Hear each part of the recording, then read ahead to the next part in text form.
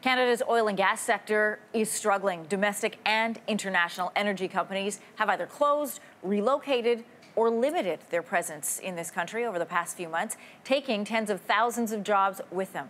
Joining us this morning is Marla Orenstein. She's the director of the Natural Resources Centre at the Canada West Foundation. Good to have you with us this morning. Thank you so much.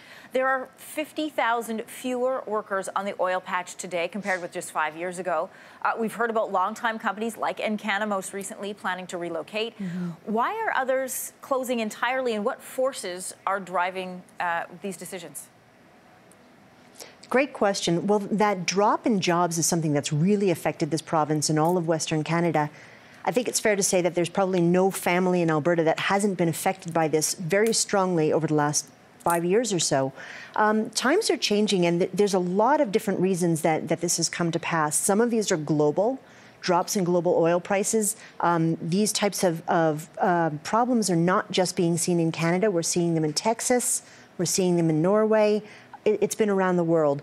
Other problems may be a little bit more Canadian. The environment in which these companies are operating is influenced both by what's happening abroad and what's happening at home.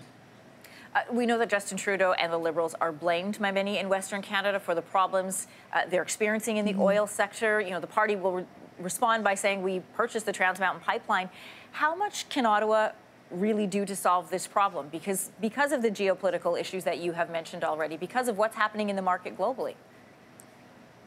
Yep. Uh, another really good question. Firstly, purchasing a pipeline isn't enough. You actually have to build the pipeline in order for that to be effective. And there's a lot of people who are waiting to see what's going to happen there. The, the, federal government has come out very strongly in favor of its environmental policies, and that's really important to everybody across the country, in Alberta, in BC, in Nova Scotia, every place. But the government hasn't been as equally forthcoming in setting out environment, um, economic policy, in setting out an energy policy, or even in setting out a policy on Indigenous rights and title, and how that's going to interact with things like major projects if, if we're to have any forward movement into the future, the government has to be really clear about saying it's not environment versus the economy. We, are going to find a way to bring these two things together. And that's not hypocrisy. That's just what, what it is we expect of a government to do. They really need to set the conditions that make it clear what the rules of the game are and what they're expecting and hoping to see un unfold in the future. That's going to give the confidence for the sector to be able to move forward. Uh, you're talking about the energy sector in 2018. Uh, you know, it contributed 167 mm-hmm. billion dollars to Canada's GDP. We heard yeah. during recently during the election campaign a lot of talk of keeping Canada's oil in Canada. Is that part of the solution?